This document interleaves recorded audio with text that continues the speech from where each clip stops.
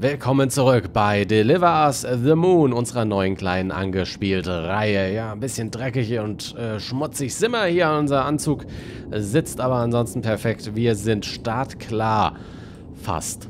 Um äh, mit der bestimmt total modernen Rakete zum Mond zu fliegen und zu schauen, was dort passiert ist. In der letzten Folge haben wir über die Hintergrundgeschichte sehr viel erfahren. Die ist äh, sehr düster, aber auch irgendwo, ha, auf, ich glaube, sie wirkt deshalb so, so bedrückend, weil sie so verdammt realistisch erscheint teilweise.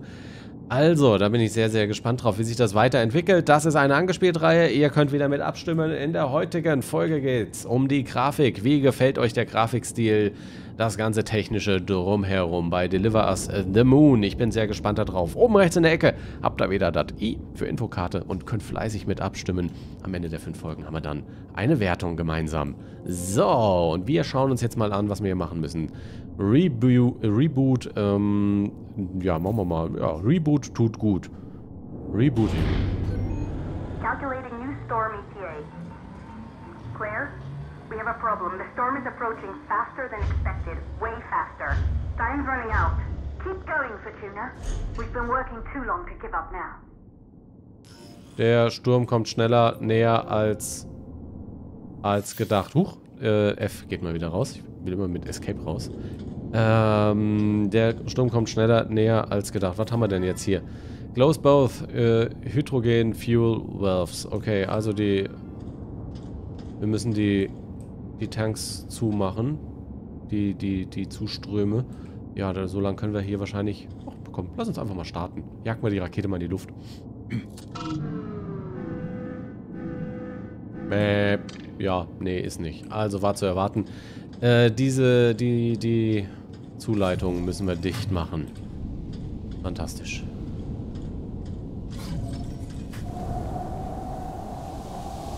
Ja, es wird windiger, ich kann es bestätigen.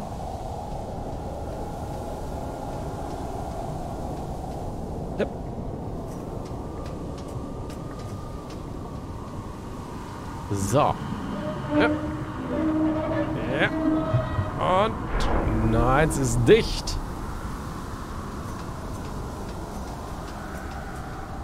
Öckel, Öckel. So, Nummer 2 war da drüben dann wohl. Das ist ja zum Glück alles sehr einfach aufgebaut. Und zack, zack. Äh, äh, äh, äh.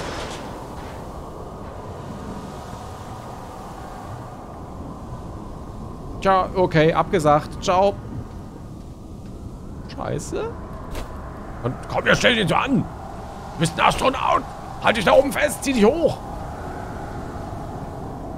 Das ist doch, da das, das wird meine Oma sich hochziehen. Na gut, mit dem Astronautenanzug wird sie sich da vielleicht nicht mehr hochziehen. Äh, the, the, the, hier geht eine Treppe hoch. Vielleicht gehen wir dann, wenn das Ding hier, wie kriege ich, äh, äh, Fahrstuhl. Wenn nichts mehr weiterhilft, rufe einen Fahrstuhl.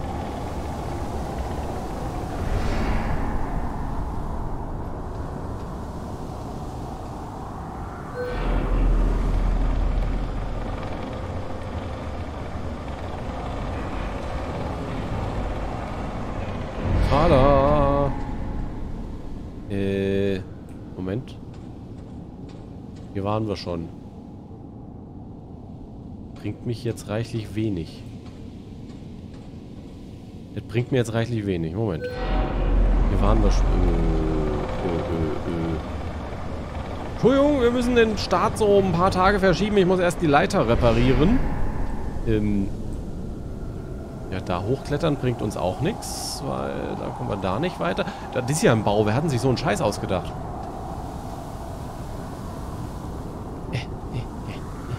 Können wir irgendwie einen anderen Knopf drücken? Anderen, da waren ja noch andere, andere PCs. Können wir irgendwie dieses Tor da hochfahren, dass ich die Treppe hochkomme und dann von hinten dahin kann. Ne, an dem Ding können wir nichts machen. Hier vielleicht auch mal rebooten. Nee. Der zeigt nur dasselbe an wie... Okay, und hier ist nach wie vor rechts das geschlossen. Ja, doof. Also hier findet man die Lösung nicht.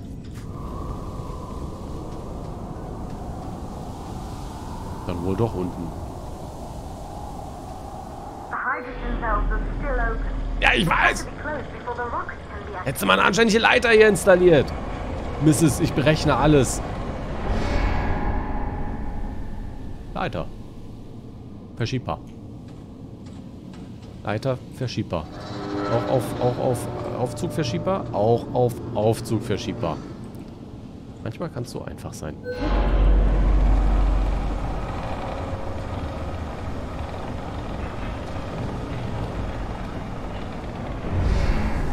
Jo, dann kommen Sie mal mit hier. So, so, so, so, so. Ups. Äh, jetzt müssen wir es... Ah, man kann drehen. Moment. Äh, so. So. Achso, äh, Moment. Das war ja die ganze. Ach. Mann, ah, das alles an diesem scheiß Wind. Ah. So. Passt.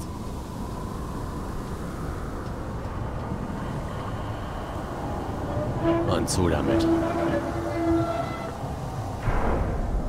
Sehr gut.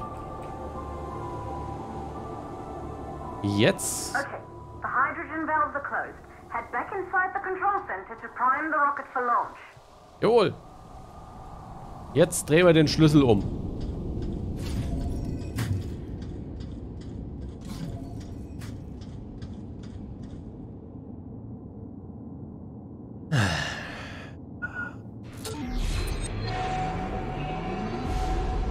Es ist nicht explodiert. Das ist schon mal ein gutes Zeichen. Und ein Foto muss einfach sein. Ein letztes.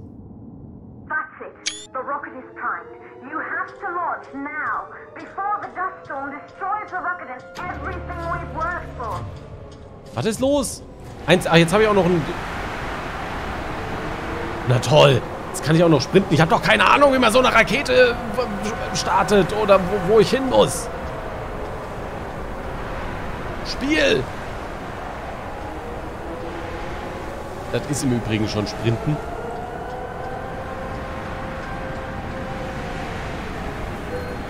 Ich hoffe, der Fahrzeug, der Fahrzeug. Ich hoffe, der Fahrzeug funktioniert. Wann ist das laut?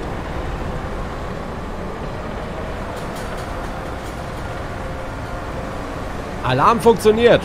Wisst ihr? Aber Leitern brechen. Äh, mach ob.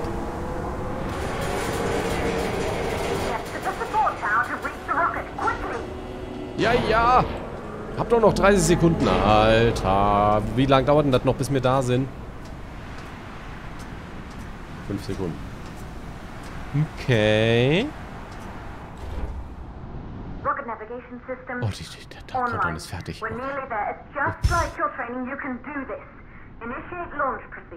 Ich dachte, ich müsste jetzt in 30 Sekunden hier die ganze... Äh, äh... Äh, was? Äh, Ich, ich, ich drück einfach mal. Ground launch sequencer started. Ah, okay. Ready to retract the orbital access arm. Das ist das Ding. Orbital axis arm retracting. Perfect, just like we're Ah, in diesem blauen Bereich. So, was müssen wir jetzt? A1, A3, B3, B4. Okay, ja, okay, ich, ich verstehe. Moment, B3, B4. Auxiliary power Check. Ready to retract the... Okay, ja, nochmal Oxygen Oh, das war place. Auch drin. Was müssen wir jetzt machen? Äh, Hier, quit release all valves. Zack, zack, zack. Auch gut.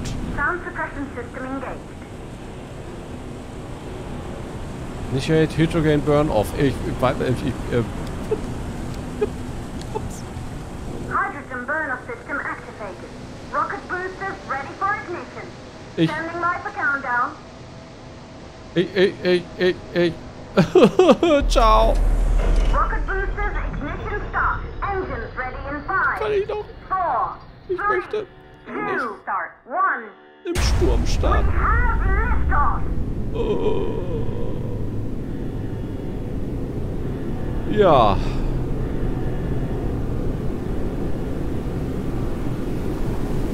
Keine Warnleuchte. Das ist beruhigend. Guck mal, da sind wir also. Glaube ich.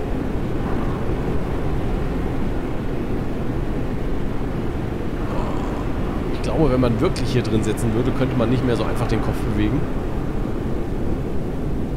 Ciao Atmosphäre. Ciao Erde. Ciao Wüste. Hi Mond. The rocket has entered the thermosphere. You're on your way, Fortuna One.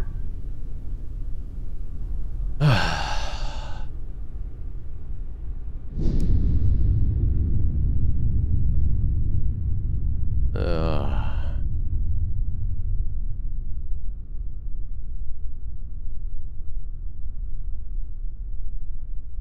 Da unten die Erde im Dunkeln. Wir sehen nur ein paar Lichter brennen von einigen Städten. Ah, und da die Tag-Nacht-Grenze. when the first astronauts made their way to the moon just a hundred years ago.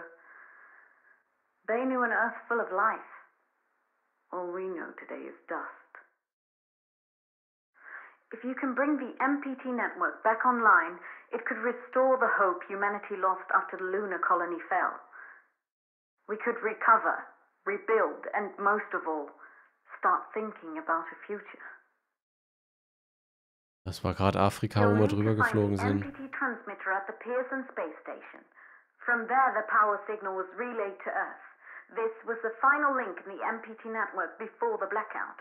If there are answers to find, they're at Pearson. Claire, we need to head down to the shelter. These winds are getting bad. Understood. Asien, 1, this storm is going to jam radio contacts. You'll be on your own for a while. To reach the station, you must...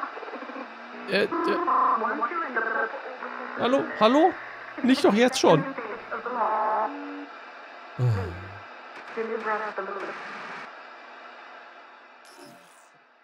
Ah, Deliver us the moon. Ja, wenn es so leicht wäre.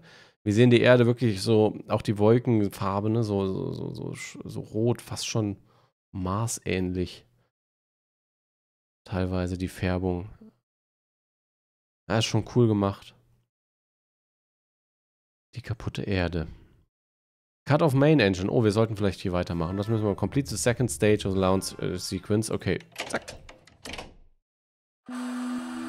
Und zack, zack. Zum Glück wird mir das ja alles angezeigt. Und ab.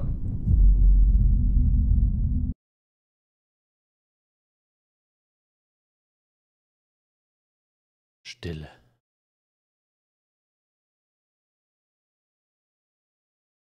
Der Weltraum. Unendlich, nein.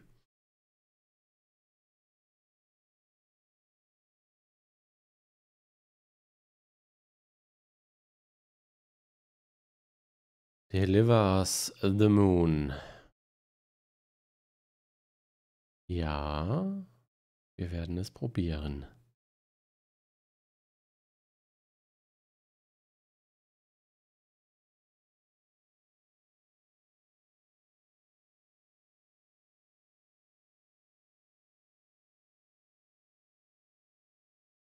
Das ist mal ein beeindruckendes Bauwerk. Das ist das MPT. Ich, ich, ich frage mich, ob hier wirklich kein Sound sein soll oder ob das gerade ein kleiner Bug ist. Das ist das MPT, das deaktivierte und wir sind oben. Ach so, wir müssen da andocken oder wie? So deute ich jetzt mal dieses Ding. Ach du Scheiße. Das ist ja geil. Ähm, Movement, Move Up, Move Down. Alles klar. Mach es erstmal ganz vorsichtig. Okay, wir, wir gehen ein bisschen vorwärts. Okay, es hat eine enorme Trägheit. Ich habe nur zwei, dreimal äh, Move Down gedrückt. Und wir sind immer noch am, am Down-Moven. Das... Wir haben ja keinen Widerstand. Das heißt, das ändert sich auch nicht. Ich muss also mit der, mit der Schubdüse wieder ausgleichen. So.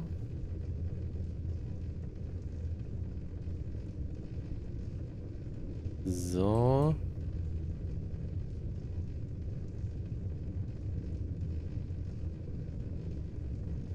Bisschen abbremsen weiter. Wir hoch, hoch. Achso, hoch ist ja das. Ah, ich habe jetzt W gedrückt. So, komm schon. Komm schon, komm schon, komm schon, wir schaffen das. Aber je näher man kommt, desto, desto empfindlicher wird das. Ah, es ist so geil gemacht hier gerade. Wie so ein... Wie so ein richtiger Simulator in der Raumfahrt. Okay, wir müssen runter.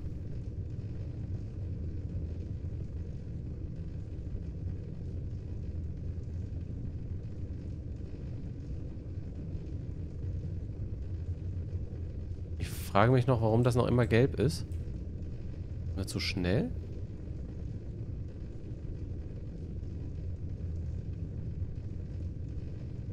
So, komm schon. Alter, Sind wir zu schnell? Es ist noch immer gelb. Ich hoffe jetzt, das schlägt nicht, schlägt nicht fehl, weil ich, ich behaupte eigentlich an sich. Das hat scheinbar geklappt. Ich hatte jetzt echt Angst, weil das immer noch gelb war. Deshalb war ich so super vorsichtig. Ich wollte, dass das grün wird. Aber das Gelb reicht scheint's. Station Power very low. MPT Network offline. Hm? Hi.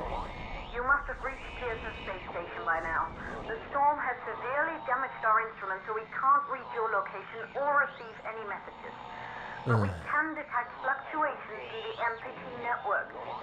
If you can hear this, when you reach the control center, try to find out what's wrong with the MPT connection so you can bring it back online. Good luck with that. Okay. MPT Network wiederherstellen, damit wir Kontakt mit denen aufnehmen können. Momentan haben wir One-Way Street quasi. Ach du Gott, und wir sind hier natürlich in der Schwerelosigkeit unterwegs. Ja, geil. Okay, wir werden uns... Ich, oh, wenn ich, wenn ich schon nicht mehr weiß, wo oben und unten irgendwann ist, ich werde mich so... Ich, ich bin jetzt schon lost. Hier ist ein Space Station. Five years after the blackout.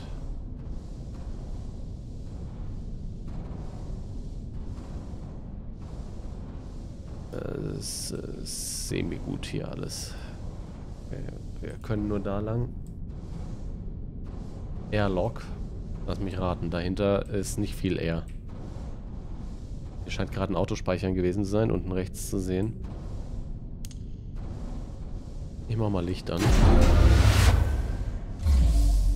Oxygen depleting. Drei Minuten Sauerstoff. Ja, geil.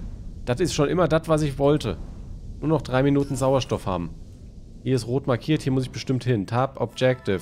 Bring Life Support System back online. Das hätte ich mir fast gedenkt. Ja. Saugeil. Und was haben wir hier? Das ist locked und hier, hier das sieht aus, als müssten wir irgendeinen Schlüssel da reinbringen. Das sieht aus, als müssen wir irgendeinen Schlüssel da reinbringen. Also Schlüssel finden. Schlüssel.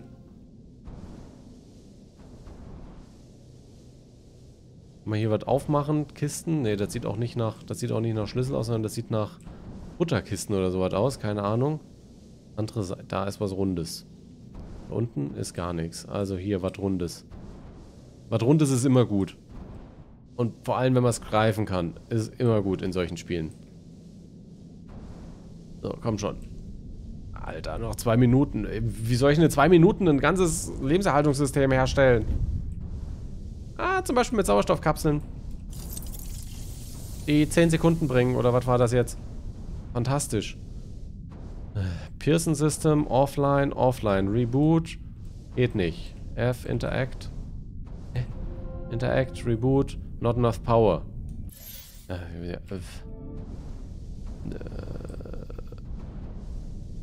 alles klar, das heißt, da brauchen wir auch wieder so Schlüsselscheins. Das sind dann scheinbar keine Schlüssel, sondern Energiekapseln oder wie so. Ah, Sauerstoff, Sauerstoff, Sauerstoff. Sauerstoff, Sauerstoff. 220. Drei Minuten. Ah ja, da unten sehen wir auch, Tank ist fast voll. Okay, drei Minuten ist das Maximum. Was ist hier? Uns da durchquetschen kann man uns nicht. Ich verliere jetzt schon so langsam die Orientierung, wo jetzt hier oben und unten und, und sonst was war. Aber jetzt haben wir uns einmal gedreht. Ja, haben wir uns.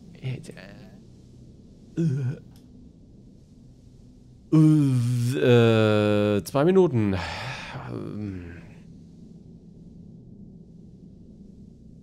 Ja. Das ist gut. Das ist gut. Moment. Das ist nur eine. Zack.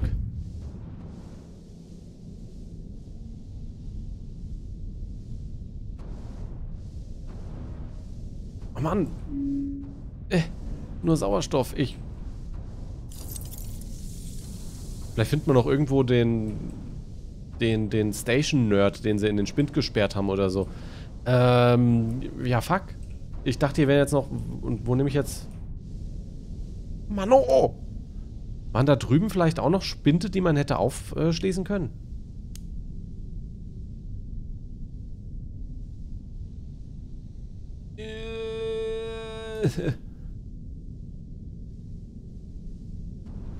Hier sind... Da ist noch einer zum... Ah, da ist... Lass in dem Ding hier. Was, was ist das? Was steht? Was? Sehr unscharf geschrieben. Read. To Copernicus Moon Hub. Issued for Space Elevator Drop 788847 ASE Parts. Ach, das sind die anderen, das sind die anderen Parts, von, oder? Von den... Ist das, ist das das Paket von der... Ist das das Paket von der von der Maria, die ihre ASI hier Egal, haben wir jetzt andere Sorgen. Ah, haha, gib mal her. Zwei.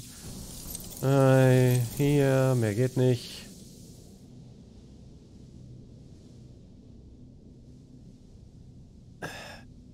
Waren da vorne noch.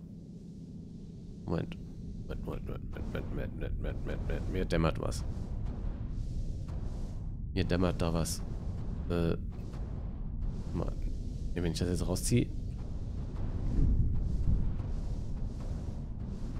Na klar. Warte. Kann ich das hier auch wieder rausziehen? Bitte lass mich das wieder rausziehen können. Bitte. Ja, sehr gut. Ich glaube, ich habe die Lösung. Mann, dieses Spiel. Das dann unter Zeitdruck, weißt du, du bist hier schon in voller Panik. Ich, ich kann mich auch immer so wunderbar reinversetzen hier dann. Oh, Alter. Jetzt hat. So, das dahin. Ist das scheiß Tor halt zu. Hauptsache wir haben Sauerstoff. Ich hoffe, wir müssen nicht mehr zurück zu unserer Kapsel. Zurück geht eh kein Weg. Und jetzt... Reboot tut gut.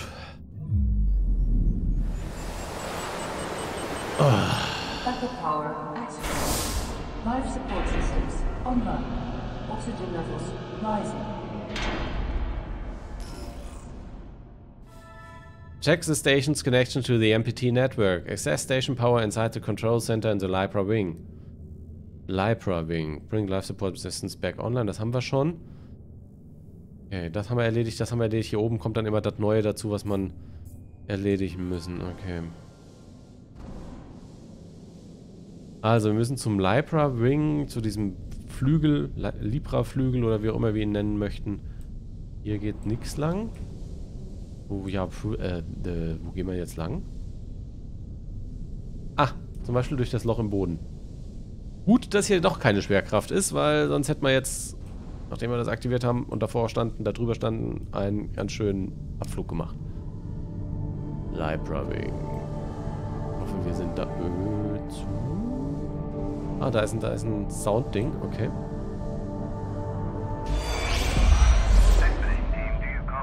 Copy control, we're all set. Ready for descent. The MPT network is still down, so expect the lights to go out as you descend towards Copernicus. Thanks for the heads up, Pearson. Remember, Sarah, our oxygen here in the station is limited. After arriving, you'll have 40 minutes to find out what caused the blackout and bring our MPT network back online.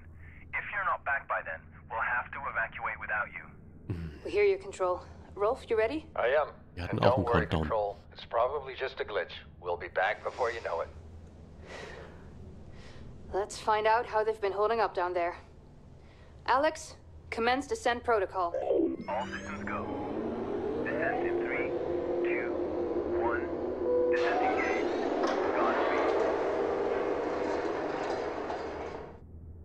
Okay, es wurden also zwei Personen, Sarah Baker und Rolf Robertson, äh, runtergeschickt, um zu schauen, was denn da unten auf dem Mond passiert ist, dass hier oben die Stromversorgung ausfiel. Und das hier scheint dann so eine Art Superlift zu sein. Ich gehe mal davon aus, dass wir jetzt in dieser Mitte dieser Röhre sind, die wir da gesehen haben.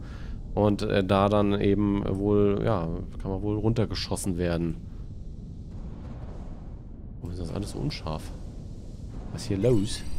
Können wir das kennen? Dossier. The Pearson Space Elevator improves the logistics of getting people and supplies to and from the moon. Da siehst du, da haben wir es doch. alles klar, das ist dieser Lift hier, das ist diese, dieses, diese Riesenröhre. Okay. Es wurden welche hingeschickt und wegen der Emergency, wegen der Notfallmaßnahmen hier war, hatten die allerdings auch nur eine sehr, sehr geringe Zeit. Was ist denn hier? Warum habe ich in den Grafikeinstellungen? Ist da was verrutscht? verrutscht? Ich schaue gerade mal. Nicht, dass man da, ne? Äh, Epic? Nee, alles okay. Bisher war ja eigentlich immer alles gut lesbar. Eigenartig. Na gut, wie gesagt, Pre-Access-Version, die ich hier habe, ne? Zum Early Access am 28. Das ist ja mittlerweile schon um, ja, wo diese Folge hier kommt. Da äh, wird dann hoffentlich alles noch ein bisschen besser aussehen. Und wenn nicht, dann wird es nachgepatcht. So, äh, jetzt, ähm, Moment. Ich habe jetzt natürlich mal wieder die Orientierung verloren. Wir kamen...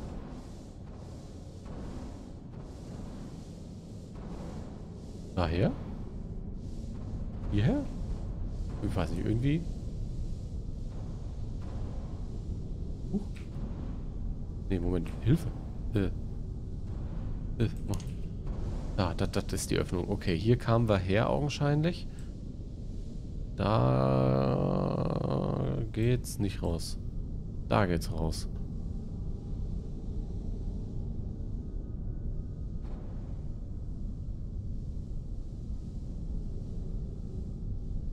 Okay.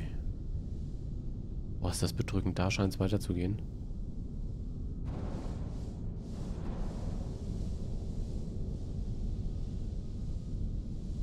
Interessant. Also, das MPT wurde wohl evakuiert. Zwei wurden runtergeschickt. Augenscheinlich hatten sie keinen Erfolg bei ihrer Mission, wo sie nur 40 Minuten Zeit für haben. Entweder sind sie dann wieder hochgekommen und wurden mit evakuiert oder sie sind halt unten, naja, zurückgeblieben, augenscheinlich. Das Ding hier wurde evakuiert und darum ja, finden wir hier jetzt auch keinen. Noch nicht. Ich hoffe, das bleibt auch so. So, dann lass uns mal diesen Weg gehen. Oh, wer baut sowas? Ah! Das ist was für, für Leute, die, die Höhenangst haben, oder? Meine Herren. Uh, meine Fresse. Hat eine Horrorvorstellung, in einem Fahrstuhl da runtergeschossen zu werden. Aber geil aussehen tut's. Also, wir sind ja heute in der angespielt Folge hier zum Thema Grafik unterwegs. Von daher, also ich, die Grafik schafft es schon, die Atmosphäre einzufangen. Und das ist, glaube ich, eigentlich die Hauptaufgabe, die ich, die ich eigentlich in der, äh, ne, der Grafik von Spielen zurechne. Schaffen die es irgendwie, Gefühle zu transportieren, den Spieler in die Welt reinzusaugen? Ja, nein, vielleicht. Da habt ihr die einen, äh, die, die Möglichkeit abzustimmen. Oben rechts in der Ecke, das i, ne? Ist jetzt immer noch verfügbar natürlich. Da könnt ihr noch eure Stimme abgeben. Ich bedanke mich fürs Zuschauen. Wir sehen uns in der nächsten Folge von Delivers the Moon. Hoffentlich wieder. Und dann, äh, was ist eigentlich letzte Mission? Control Center Light Probing. Müssen wir immer noch hin. Das ist aber da vorne. Also, sieht so aus, als wären wir auf dem richtigen Weg. Mal schauen, wie lange noch. Bis dahin, macht's gut. Ciao.